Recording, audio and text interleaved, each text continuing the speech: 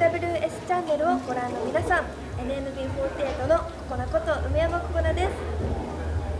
関西コレクションのランウェイは初めてだったのですごく緊張してたんですけどあの1回目はみかな山本みかなちゃんと2人で歩かせていただけてすごい楽しく歩けました。そうですねなんか今回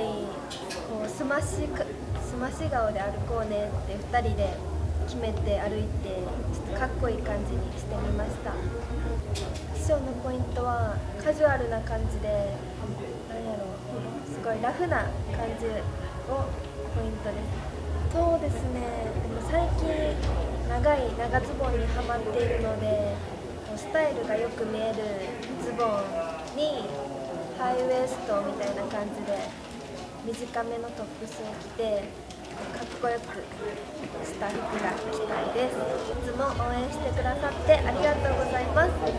これからも頑張ります。応援よろしくお願いします。